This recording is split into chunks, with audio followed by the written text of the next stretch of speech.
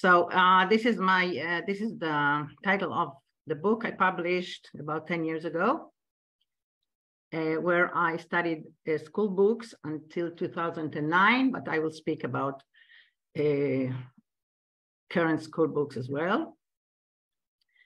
But first, I would like, with your permission, really, to dedicate this webinar to the Palestinian children who were killed this year by the Israeli army. Uh, this picture gives about half of them. And the question that I asked myself when I started this, uh, my, my study was, how do you educate children to kill other children?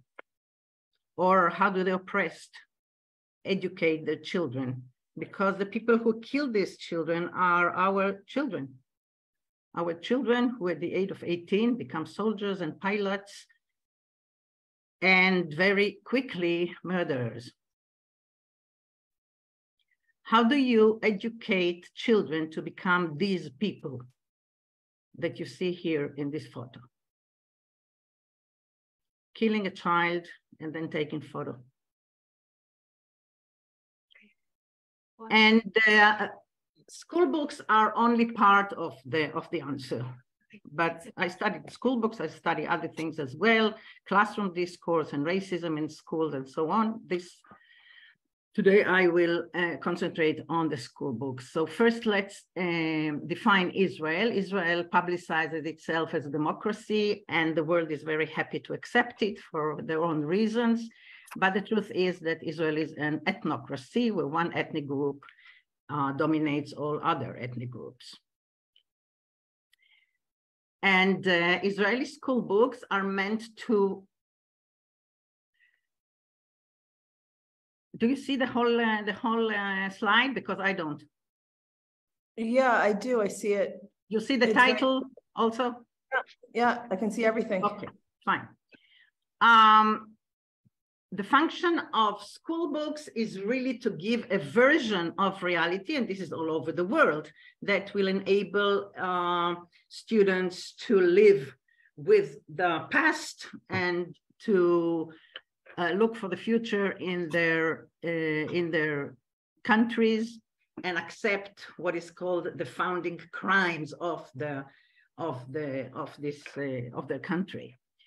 So Israeli school books are meant to legitimate the Zionist project of conquest and settlement to both Jewish Palestinian, Arab, Jewish and Palestinian Arab students who are of Israeli citizenship.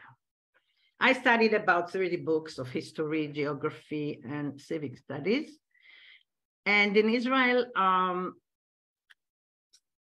uh, school books production is, is a private uh, industry, but all the books have to be authorized by the Ministry of Education, and therefore they have the same, they must have the same ideological background based on uh, Zionism, and they must have some basic assumptions which are not given to, to, to discussion. For example, Jewish historical rights on the land, the whole land of Israel and Palestine, anti-Semitism, and value assumptions. What is good and desirable, what is good and desirable is Jewish state, Jewish majority, Israeli control. All this guarantee against another Holocaust. So this is the basic of, of uh, Israeli education. Now, Israeli education never encouraged peace education. There's never been any program of peace education, although the UN gives a lot of money for uh, schools who do that. And uh, not only wasn't encouraged, but it was really uh, prevented. Uh, on the contrary, on the other hand, when you uh, enter Israeli schools, you see all kinds of slogans, love the other, respect differences, and the other is me, which is a huge uh, uh project of Israeli Minister of Education. And history curriculum has also set as one of the objectives to promote understanding towards others. And the question is, who are these others? So in Israel, there are two groups of others. They are Jewish or non-Arab, others, who are imported into the state by the government, and they are considered others that can be molded and cultivated to suit the ideal of a Jewish Western modern democratic state.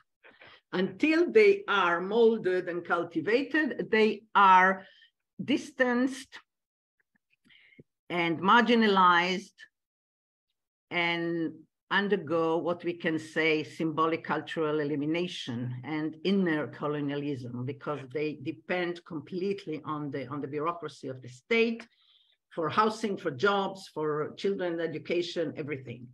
I'm talking here about uh, arab jews jews from muslim uh, countries who were brought to replace the exterminated jews of europe and about ethiopian jews who are still uh, brought in uh, into the country for the same demographic reasons. the other group is the indigenous Arab Palestinians who are not candidates and never been candidates for integration and assimilation because they are treated as a race, namely as a group that never changes. And they undergo symbolic, cultural, and physical elimination. So this is the difference. Here, for example, we see from a geography school book um, the conception of others. Uh, the title is Jewish versus Arab population. On the upper part, you see Jews and others. You see that? It's in English. On the lower part, you see Arab population. Now, who are the others if they are not the Arabs? Because the Arabs are called the non-Jewish population, the non-Jewish sector. The others are um, immigrants that are brought, were brought from former Soviet Union and are not Jewish. But since they are white, uh, they are accepted in our group, okay, against the Arabs. And they are uh, formally uh, um, defined as others in the in the in the register, but the school book doesn't say that. So the children should assume that they are non-Jews who are not Arabs. So they be, they deserve to belong with us. Now, if you look at the little figurines that represent the populations, you see that in the group of Jews and others, you have two funny looking uh, people, but there's nothing Jewish about them. They don't have any Jewish object signs. They can be anyone. Whereas for the Arab population, you see the representation by two racist icons of Ali Baba with a camel and his crouching wife. And this is the only representation of Arab citizens in this book. Of course, nobody looks like that, citizens or not, but this is the only representation that you have of, uh, of uh, Arab citizens. Uh, by the way, in all the school books of Israel, um, even those that teach you about the Arabs and the Arab culture or whatever, you don't see one photograph of an Arab human being like us, modern, professional, etc. Not even one. There was a, a, study last year by an organization called Sikui, and they uh, published it. Now, how do we teach the children to love the other if we only teach them to fear the others? Uh, former chief scientist of, uh, of the Ministry of Education said we only teach our students that we are victims. So who are the current threatening others? And of what and of whom can we be victims today, according to the textbooks.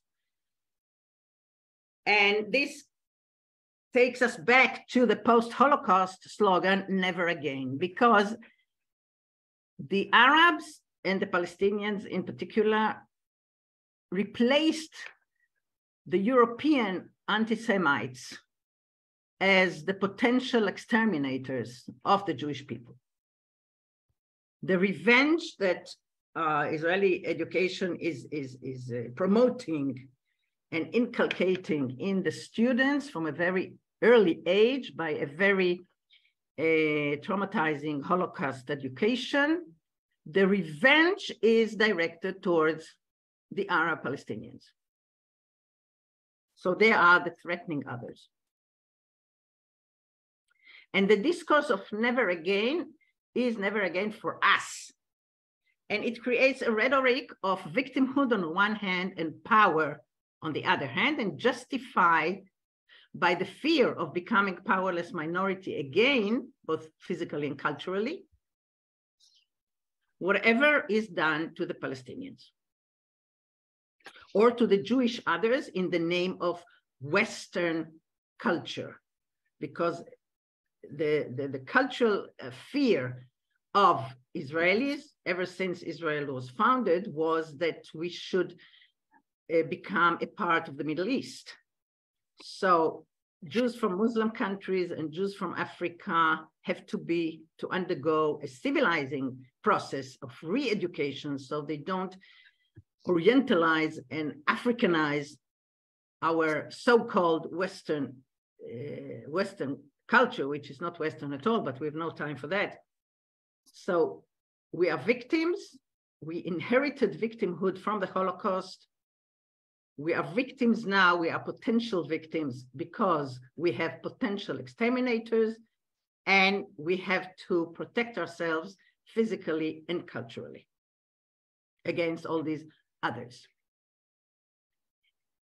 Now, um, sociologist uh, Zygmunt Bauman, uh, when he talked about Holocaust and the modernity, analyzes the anti-Semitic uh, propaganda. And I took it because I wanted to see if textbooks in Israel do the same thing, and they do the same thing, unfortunately. So these are his, uh, his uh, definitions. Uh, in Israel, they still believe in what is called social engineering, that you can exclude people, eliminate people, uh, recultural, reculture people, and so on and so forth. But how do you convince children of the need to exclude and eliminate others? It takes a very long and deep and thorough uh, process. So first of all, you turn the people into abstraction. Okay? When people become abstraction, like a problem or a threat, then he says moral and ethical rules do not interfere with the handling of this category of people. So the Jews were defined as the Jewish problem. And in Israeli textbooks, the Palestinians are defined as the Palestinian problem, refugee problem, developmental problem, demographic problem, security threat. And the problems must be solved. So there are no more people, there are problems. This, for example, is from one textbook. It is called the, the, the photograph, the Palestinian problem. You don't see anything Palestinian about it, right? But they say that this is the way they live in the refugees the refugee camps, but you don't see the people. You never see the people. And this problem is poisonous and it acts by itself independently of human action or cause. Although Israel came victorious out of the survival war that was forced upon her, the Palestinian problem would poison for more than a generation the relationship of Israel with the Arab world and with the international community. This is what the, the, the textbook uh, tells you. This is another way to turn them into abstraction. It's an aerial photograph of Jabalia refugee camp. Yesterday, there was a huge fire there and many, many, many people died. I don't know if you know about that. Only yesterday. And it's one of the most crowded places on earth but when you see it like that without people, right? And the caption says, one of the refugee camps in the Gaza region whose inhabitants live in overcrowdedness and poverty, as if nobody is responsible for that. This is a natural uh, situation. Nobody sees these photos, for example, you know that Israel uh, destroyed uh, all uh, all the infrastructure in Gaza of electricity and water and sewage and everything, and they don't let or hardly let any any material to, to reconstruct it. So every winter, this is what Gaza looks like. But this you don't see in textbooks. You see this aerial photograph, which uh, a researcher by the name of Van Leeuwen, who, by the way, studied uh, Dutch textbook, says it's the angle of the pilot who flies too high to be able to see the people on whom he's dropping the bomb. And this is what is called the objective knowledge that uh, education wants to reproduce. This is another uh, picture where you don't see the people. It's a checkpoint. It's what is called flying checkpoint. One day it's there, one day it's not, but it's empty. It's empty of the people against whom it was erected. You see a few soldiers here drinking coffee. And since it's such an abstraction, you can ask abstraction, abstract um, Uh, questions of the children. What is the purpose of the checkpoint? How does it represent our defensive democracy? What is administrative detention and count one advantage and one disadvantage. It's all in the abstract because nobody sees the people who are really subjugated to these measures. Okay, this is a checkpoint, a regular checkpoint every morning when people go to work. But the textbooks don't show you this, they show you this, right? This is a normal morning. And this is administrative detention. This is administrative detention. This girl was arrested when she left school. She stayed two weeks in prison, in a military prison, because all Palestinian children are uh, tried and, and arrested in, in military court and prisons. And this is what she looked like when she came back. She didn't see a lawyer, she didn't see a social worker, she didn't see her parents. This is how she came out. This is another uh, very sad uh, case. This child uh, stabbed, didn't kill, but stabbed two, two, two Israelis in a, in, a, in, a, in a settlement. And he was lynched. After he was lynched, he was handcuffed to his bed in the hospital, as you see. He was 12. He was brought to trial to a military court and today he's a broken man. And all these years from, it's about 10 years, he's been in solitary confinement. Haven't seen his parents or a lawyer or a social worker, nothing. And this is what is meant by administrative detention. Another way to abstract people is not to show them. This is a cover of a school book that is called Living Together in Israel as you see, there are no Arabs here. In fact, no brown people at all, no Ethiopians, nobody. Okay, everybody is white and happy. And the best way is through maps. This is a map of um, Palestinian population, Arab population. We don't say Palestinian in Israel, we say Arab. And there's not even one uh, Arab city on the map. Nazareth, Akka, nothing. So the feeling is that they live on us and among us, which is the greatest fear of Israelis. And the whole West Bank is colorless. And in the legend, it says um, an area for which we have no data, the whole West Bank. So probably no people there. And of course, mental maps that tell you that Arab villages do not develop because they're very far from the center and they have remained out of the process of development. And it's so difficult to connect them to electricity and water. Whoever knows anything about Israel knows that Israel is, is so tiny. Like, like uh, I don't know, in Canadian terms, the Winnipeg or something, okay? But these are mental maps. Nobody really knows the territory. We know only the maps. And then the third one is if there are such um, a problem, we should fence them off. Okay? Draw boundaries between us and then they must be kept outside our areas.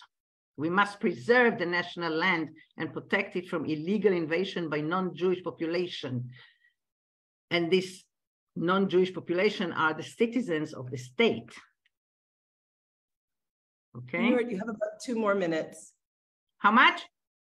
about two more minutes. But I started at uh, eight, eight, at eight ten. You, you, you can, you can continue, uh, Okay, we continue. continue, like. All right. And of course, uh, whatever happens to them, um, okay, I'll go on. The confinement legitimates the military government and the occupation, of course, because you have to take care of it. And the military government is good for us because it helped Jewish settlement all over the countries and prevented Arab seizure of vacant lands. Of course, vacant lands are the va- lands that were taken from them. Um, the fact that we have to be a majority legitimate racist discourse such as the law of citizenship, which does not allow a Palestinian who is a citizen of Israel to marry, or not to marry, to live with his or her uh, partner uh, if the other one is from the territories. So families cannot live together, all right? And if they do live together, of course, they uh, they do it against the law. And although the Supreme Court ruled that this is law, it is unlawful, the schools the school book tells you human rights are not a recipe for national suicide. All right. And the use of, of racist discourse is very important because in order to give a, a, a, an image of the colonized as something vile and evil, you have to put some kind of, of a frightening stereotype. Okay, so this is how they are, uh, uh, Palestinian citizens are, and, and you have to say that all these negative qualities are in the blood traditional and object to changes. They are unwilling to give anything for the general good, and so on and so forth. And then you you get used to look at them as a category of people and not as individuals. So these are the stereotypes that we have today in our books. The primitive farmer, you see, the Alibaba with his camel, and this is the caption, the Arabs refuse to live in high buildings and insist on living in land-ridden ones, one-story houses. And as I said before, nobody looks like that in the world. Terrorists. And um, all this legitimates their killing, okay? So today, Today, books do not even speak about Palestinians. They say we have minorities who have minority rights, that's all. But before, up until 2009 or 10, they did mention the massacres that were, that were uh, perpetrated, but they were always legitimated by the consequences to the Jewish nation. For example, the escape of the Arabs in the Deir Yassin massacre solved a terrifying demographic problem, and even a moderate person such as the first president Weizmann spoke about it as a miracle. So too bad they have to die, but it's good for us.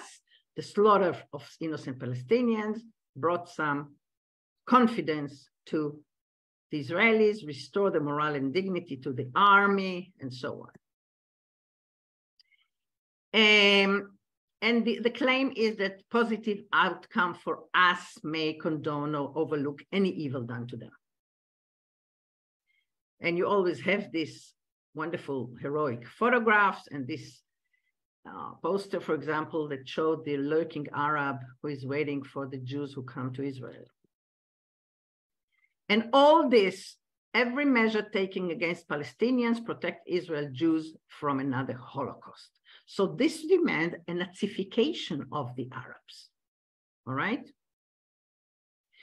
And in 2020, for the final exam, they had to read a chapter called uh, The Design of Holocaust uh, Remembrance in Israel. And what they said there was that what made Israelis identified with Holocaust victims were Palestinian terror attacks. And all these attacks, of course, are depicted as, you know, out of the blue. Nothing preceded them, nothing can not justify but explain them. They just come out of sheer hatred for Jews and they murder us. And that's what makes us able to identify with the victims of Hitler. Hijacking of Air France, for example, to Entebbe, where there were even German terrorists and they uh, separated the Jews from the others. It takes you straight to Auschwitz and so on. So I finish what we see in the books is rhetoric of victimhood and power. Israeli textbooks present Palestinians as both superfluous, vile, lawless barbarians and almighty Nazi predators. And they command the students to forget the other drama, the drama of the victim. The victims have no voice. Nobody knows what happened to the victims. And this uh, creates what is called elite a racism that is uh, inculcated from above, that is being, we are being educated into this racism. Uh, okay, I think I'll finish here and thank you.